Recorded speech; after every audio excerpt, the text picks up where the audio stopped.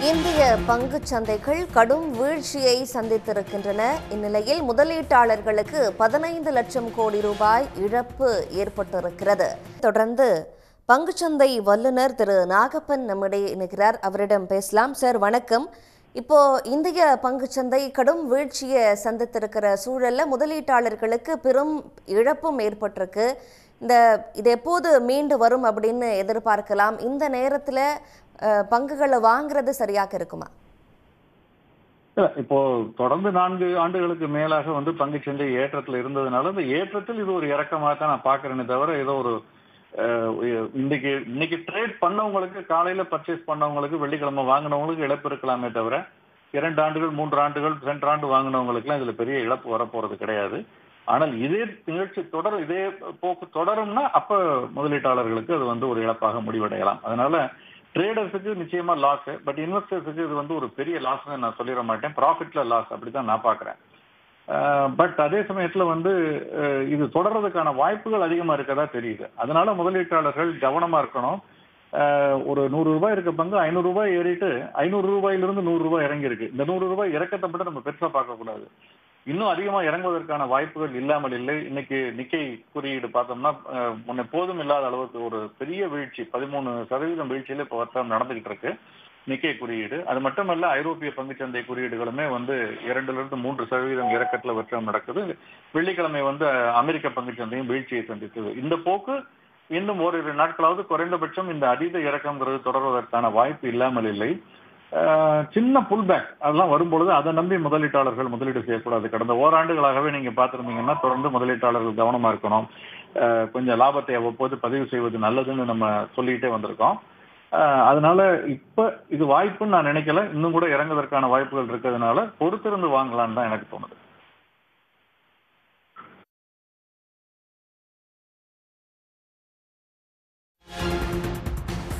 Sir Nagappan sir இந்த பங்கு சந்தையில் சென்செக்ஸ் நிஃப்டி புள்ளிகள்லாம் ஒரு பெருமளவு சரிவை சந்திச்சிருக்கிற இந்த நேரத்தை பயன்படுத்தி இந்த சிறு முதலீட்டாளர்கள் காமன் மேன் இந்த நேரடி பங்குகளை வாங்குற இந்த நேரத்தை சரியான நேரமாக பயன்படுத்திக்கலாமா சார்? என்னை பொறுத்த வரைக்கும் இந்த மாதிரி ஒரு ஜட்மெண்டல் கால் எடுக்கிற அளவுக்கு வந்து ஒரு சாதாரண முதலீட்டாளர்கள் ஒரு முழு முழு நேரம் ஒரு தொழிலில் ஈடுபட்டிருக்கவங்க ஒரு வேலையில் இருக்கவங்களுக்கு இதெல்லாம் இருக்காது. அவங்கள பொறுத்த வரைக்கும் ஒரு சிஸ்டமேட்டிக் இன்வெஸ்ட்மெண்ட் பிளான்ங்கிற அடிப்படையில் சிப்னு சொல்கிறோம் அதன் அடிப்படையில் போகிறது தான் கரெக்டாக இருக்குமே தவிர இந்தியாவின் மீது இந்தியாவினுடைய பொருளாதாரத்தின் மீது அதனுடைய தாக்கம் பெரிய நிறுவனங்கள் மீது பாசிட்டிவாக இருக்கும்னு அடுத்த பத்து ஆண்டுகள் இருக்கும்னு நம்புறவங்க சிஸ்டமேட்டிக் இன்வெஸ்ட்மெண்ட் பிளான் மூலமாக போகிறது பெட்டராக இருக்குமே தவிர இந்த மாதிரி நேரங்களில் தனிப்பட்ட பங்குகளில் வந்து அதை அதை அவதானிச்சு அதை வந்து ஒரு அனலைஸ் பண்ணி முடிவெடுக்கக்கூடிய திறன் அவர்களுக்கு இருந்ததுன்னா பண்ணணும். இல்லைன்னா வந்து இன்னும் கூட ஏன்னா இந்த மார்ஜின் கால்னு சொல்லுவோம்.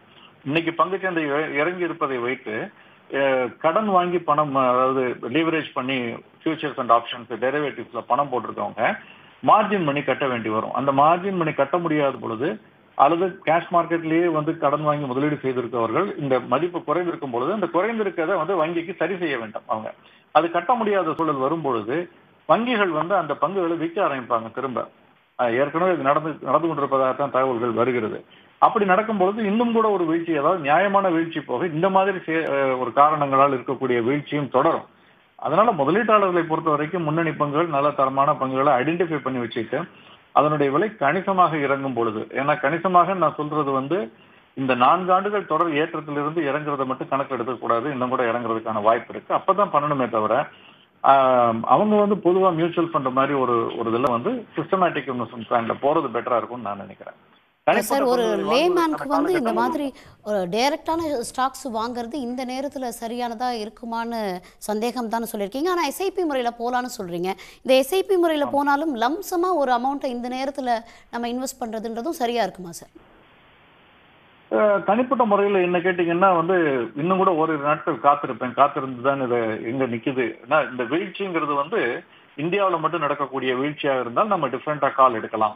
பட் சர்வதேச நிகழ்வுகள்ல எல்லா இடத்துலயும் நடக்கும் பொழுது இது ஒரு வாய்ப்பாகவும் நம்ம கருதலாம். ஆனால் அதை இன்னைக்கு இல்லை. இன்னும் ஓரிரு நாட்கள் பொறுத்திருந்து பார்க்கறது தான் பெட்டரா இருக்கும்னு நான் நினைக்கிறேன். அப்படி காத்திருக்கிறதன் காரணமாக இந்த வாய்ப்பு நழுவி போகுமானால் அதை விட்டுறது நல்லது. நழுவி போக விடுவது நல்லது தானே தவிர அவசரத்துல இந்த முடிவுகளை எடுக்கக்கூடாதுன்னு நான் நினைக்கிறேன்.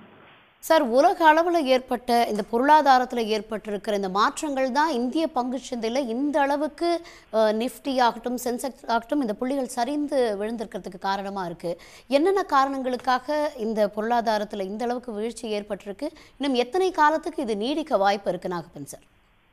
இல்ல பொதுவாக இப்ப அமெரிக்கால வந்து ஸ்லோடவுன் அதை பத்தி பேச ஆரம்பிச்சிருக்காங்க. அங்க வந்து அரசியல் ரீதியாகவும் தலைமையில வந்து ஒரு பிரச்சனைகள் ஓடிக்கிட்டு இருக்கு. அப்ப வரப்பு அவங்களுடைய கொள்கைகள் எந்த மாதிரி இருக்குங்கிற ஒரு கன்ஃபியூஷன் ஒரு அன்சர்டனிட்டி இருக்கு. அதை விட ரொம்ப முக்கியமாக இன்று நேற்றும் இன்றும் பேசப்படக்கூடிய ஒரு விஷயம் வந்து குளோபல் இஸ்ரேல் அண்ட் ஈரான் அந்த அட்டாக் அங்க நடக்கிறதுக்கான வாய்ப்பு இருக்கா? ஒரு அன்சர்டனிட்டி ஒரு டென்ஷன் அந்த டென்ஷன் ஒரு முக்கியமான காரணமாகவும் இருப்பதற்கான வாய்ப்பு இருக்கு. ஸோ இதெல்லாம் வந்து அடுத்த ஒரு நாட்கள்ல ஒரு தெளிவு ஏற்படும். அப்பொழுது சந்தை வந்து திரும்ப அதிகரிப்பதற்கான வாய்ப்பும் புல் பேக்னு சொல்லுவோம். அந்த புல் பேக்னு இல்லாம இருக்கிறதுக்கான வாய்ப்பு இல்லை. அது இருக்கலாம். ஆனால் அதை நம்பி முதலீடு செய்யக்கூடாது. நான் சென்ற ஓராண்டு காலமாக சொல்லி வரதான் சொல்றேன். இப்ப கூட இன்னும் நிறைய பேருக்கு லாபம் இருக்கலாம். அந்த லாபத்தில் நஷ்டம் இருக்கலாம். அந்த நஷ்டத்தை வந்து இப்ப அந்த நூறு பர்சன்ட் ஏறிட்டு இருபது பர்சன்ட் இறங்கி இருக்கிறத பார்த்து பயப்படாம இந்த எண்பது பர்சன்ட் லாபத்தையாவது பதிவு செய்து கையில காஷ் வச்சுக்கிறது பெட்டர் தானே தவிர இந்த சுச்சுவேஷன்ல வாங்குறது வந்து ஒரு நல்ல இன்னும் நான் வந்து விற்கிறத வந்து அறிவுறுத்துறேனே தவிர வாங்குறத வந்து கொஞ்சம் தள்ளி போடுறது நல்லதுன்னு நான் நினைக்கிறேன். நன்றி. இணைப்பில் வந்து உங்களுடைய கருத்துக்களை பகிர்ந்தமைக்கு நன்றி Thiru Nagappan.